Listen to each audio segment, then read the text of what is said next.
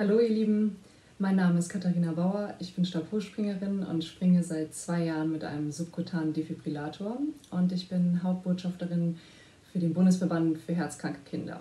Ja, und gerade in dieser Corona-Zeit, was für uns alle überhaupt keine leichte Zeit ist, ähm, ist es für mich natürlich auch äh, sehr, sehr schwierig.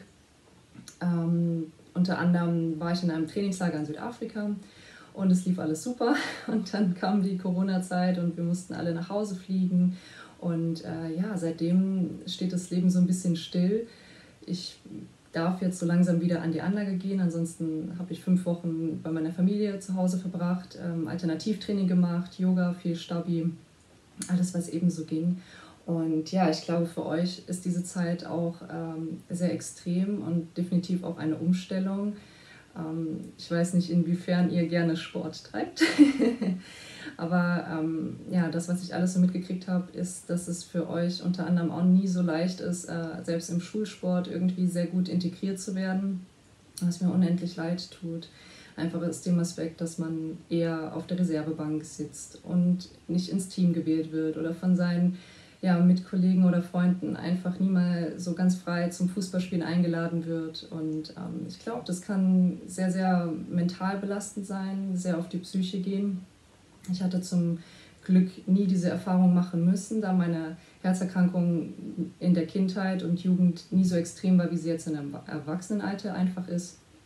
Ähm, ja, aus diesem Grund bin ich wirklich sehr dankbar, bei dem Bundesverband Hauptbotschafterin zu sein, um euch einfach ein bisschen Mut und Motivation schenken zu können aus meiner Lebenserfahrung bis jetzt heraus ich finde es einfach ganz toll, wie sich der Bundesverband engagiert, äh, unter anderem mit ambulanten Kinderherzsportgruppen oder Sommerferien oder die Segelwochen oder Reiterferien.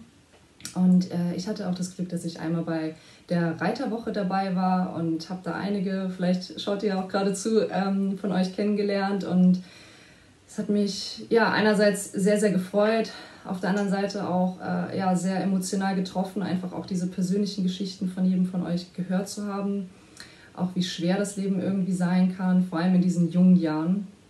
Und ähm, ja, ich hoffe einfach, dass wir da in einem guten Austausch sind. Und ähm, wenn ihr irgendwann mal Fragen so an mich habt, dann äh, könnt ihr sie jederzeit sehr, sehr gerne stellen.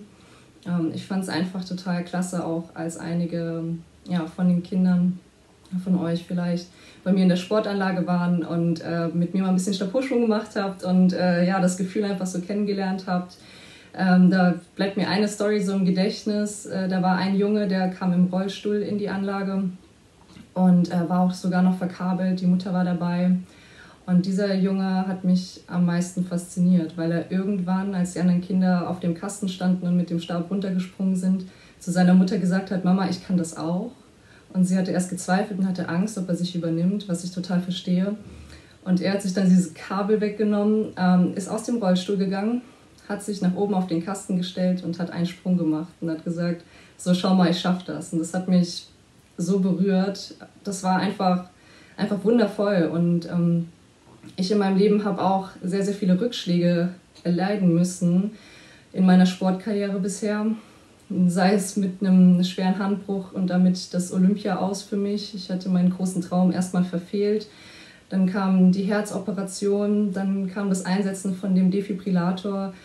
Und das, was mich dann irgendwie aus diesen ganzen Situationen jetzt über die ganzen Jahre hinweg gelehrt hat, dass es sich immer lohnt, weiterzumachen, aufzustehen und den Glauben niemals an sich selbst zu verlieren. Denn selbst mir haben die Ärzte schon ganz oft gesagt, du darfst keinen Leistungssport mehr machen, deine Karriere ist vorbei, ähm, mit, dem, mit der Herzerkrankung wird es doch sowieso nichts und mit dem Defibrillator gibt es eigentlich auch keinen Spitzensportler auf der Welt. Und wisst ihr, was ich mir dann gedacht habe und auch den Ärzten gesagt habe? Gut, es hat noch keiner gemacht, das heißt, es hat noch nie jemand ausprobiert. Aber ich für mich weiß, dass ich das unbedingt machen möchte und mir auch schuldig bin, das herauszubekommen.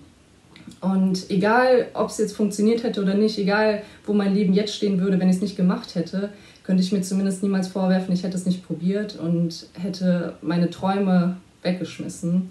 Und ja, deswegen kann ich euch nur dazu ermutigen, egal welchen Traum ihr habt, egal was ihr in eurem Leben erreichen wollt, lasst euch trotz allem von vielen anderen Leuten, auch wenn sie sich nur Sorgen machen oder Ängste haben, niemals eure eigene Stimme wegnehmen.